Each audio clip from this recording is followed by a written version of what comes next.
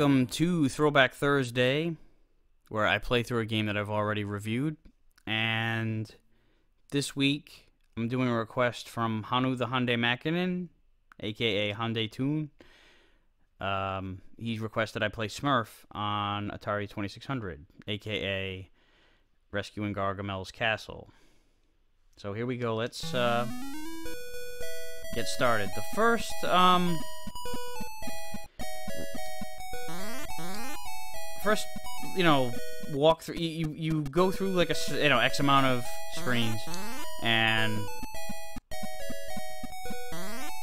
it's nothing. There's, I mean, aside from walking into the oh, into the water, the spider is the only enemy in this uh, first go around. It's really a tutorial slash warm up. You even hit a repeated screen here of the uh, of the water. Bam, you get to Smurfette, end of the game. But each time you pass through, a new hazard presents itself.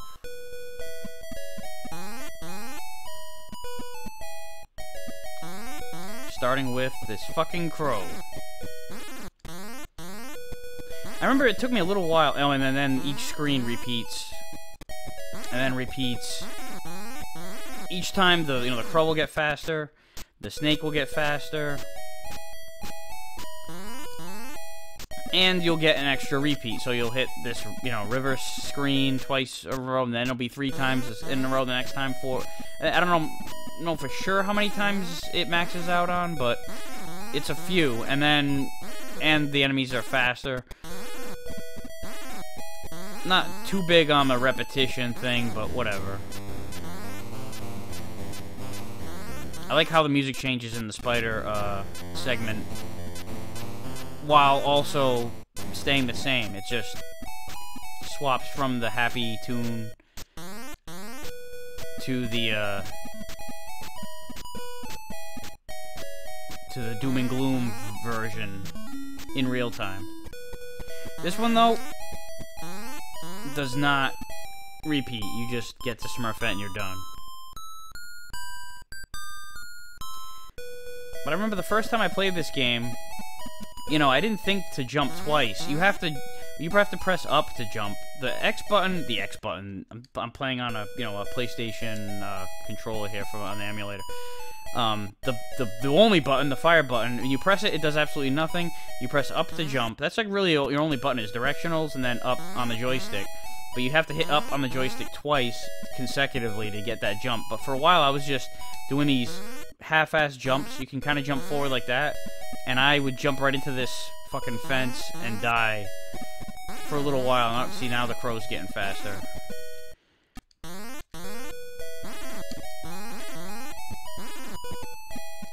Nah, so three of these uh, crow fence uh, screens.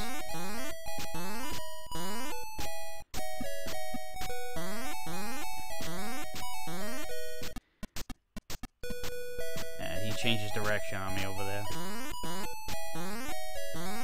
A little bit less predictable than the crow. Ah, I see. I, I fucked up the timing of that one. This isn't. Uh, it's pre it's pretty easy, but it does get a little tricky as it goes on, as it should. You know, that's a video game for you, right? Now the spider uh, is on coke.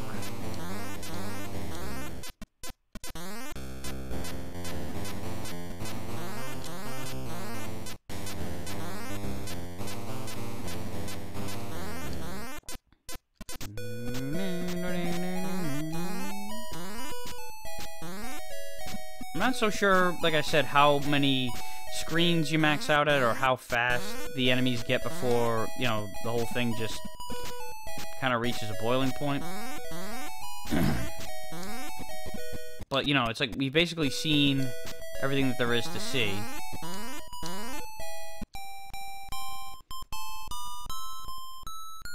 We'll just keep going until, uh, until we don't.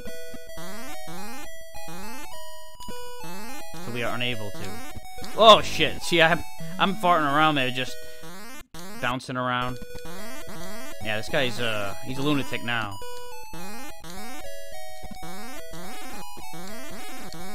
Gotta be awake now.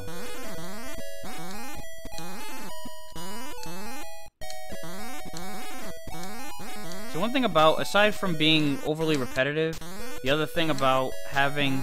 Oh, I jumped in the water. That was always a funny little animation. And he catches up to me, too, so it's like, I gotta... Oh, no! I made it. Yeah, the change of direction is, uh... Definitely give, presents a challenge, uh, in that, with the snake. I thought I was gonna hit the corner of the platform there. Ah, oh, I hit the thing. I, I I didn't hit it quick enough. Oh shit! I thought I thought if I held it, that would be fine. I have to press it. All right, so I'm on my last life here. Oh no! I made it. I made it. This is so weird. It's. it's like so surreal, this, uh... Oh, shit. I barely made it underneath that spider. So if he gets faster, I'm gonna have to, like... I don't know what the fuck I'm gonna have to do.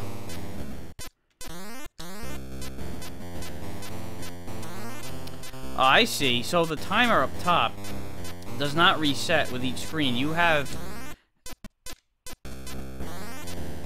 Alright, so... That's, I don't know if I noticed that earlier, if that's just something that I'm uh, meaning, I don't know if I mentioned it in my review or not. He just disappeared off the screen. That was close. The snake is has the unpredictability of a moth. With, uh, when he decides to change direction and... Oh my god, what a horrible way to end the game. Look at Smurfette, she's like, no, what an idiot! Well, that's where it ends. That's very fitting, I guess. I'm just gonna plop myself down there and bleed a while. So that's Smurf or Smurfs. I think it was. Um, I've seen it with just as just Smurf, but also as Smurfs. I don't know. Whatever. Uh, excuse me. That's it for this week. Um, feel free to leave a request in the comments for a game that I've reviewed in the past for me to throw onto a throwback Thursday. And so until then, I'll see you next week.